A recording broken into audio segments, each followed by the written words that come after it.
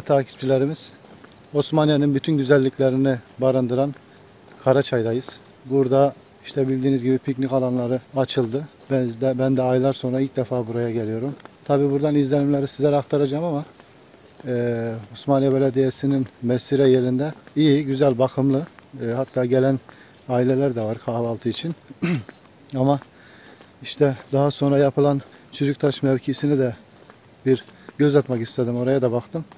Ama orası işler acısı gerçekten. Yetkililere ne kadar seslendiysek, görevini yapmayanlara ne kadar görevinizi yapın dediysek de maalesef kal, söylediğimiz e, söylediğimiz yerde kalıyor. Yani insanlarımızın bilinçsiz kullanımı. Yani gördüğünüz bankları falan göreceksiniz az sonra. Yani rezillik, işler acısı. Yani içki şişeleri, işte piknikçilerin pislikleri, her şey e, meydanda. Maalesef çok kötü bir manzara. Yani Osmaniye'mize yakışan manzara değil bunlar.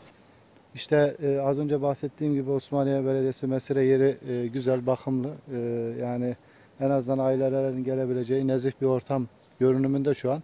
Ama o Çürüktaş denen mevkiyi yetkililerden rica ediyorum orayı sökün. Yani orayı sökün. Allah rızası için orayı sökün.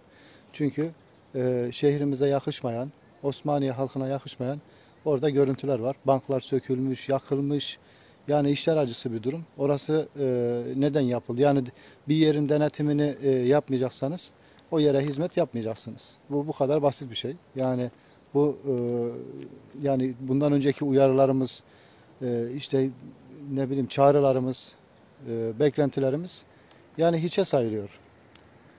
Yani basın mensuplarının basın mensupları halkın gören gözü, işiten kulağı deniyor ama vatan, e, basın mensuplarının çağrıları da kulak arkası ediliyor maalesef.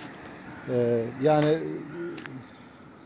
işte işlerine geldiği zaman da toplantı düzenleyecekleri zaman bir, bir şey duyuracakları zaman da maalesef işte değerli basın mensupları buyurun gelin davetlisiniz. E, şurada şu programımız var işte şu hizmeti yapıyoruz tanıtın diyorlar. Ama basın mensuplarının da lütfen e, çağrılarına kulak verin. Yani o kadar uyarı yapıyoruz.